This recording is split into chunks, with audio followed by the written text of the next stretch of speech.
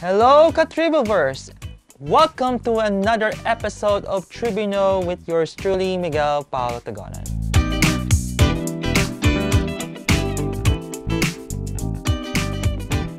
Today, let's talk about coffee since today is National Espresso Day in the United States. Quick question What's the difference between espresso and a plain old coffee?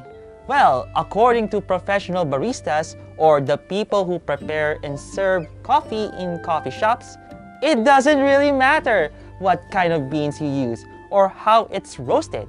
It's all in the way the beans are brewed. So who invented the espresso and how is it made?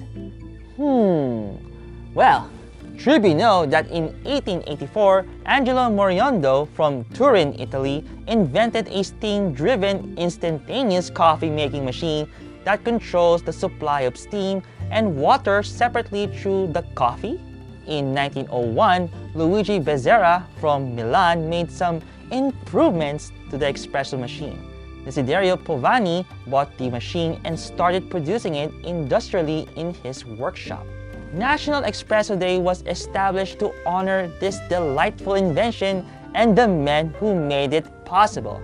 By the way, a small coffee shop in Pike Place Market in Seattle, Washington went on to become the biggest coffee house chain in the world, Starbucks. That's our Trib-U-Know fact of the day.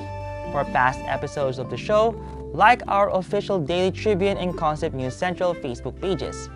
Like and subscribe to our YouTube channel, Tribuno. See ya!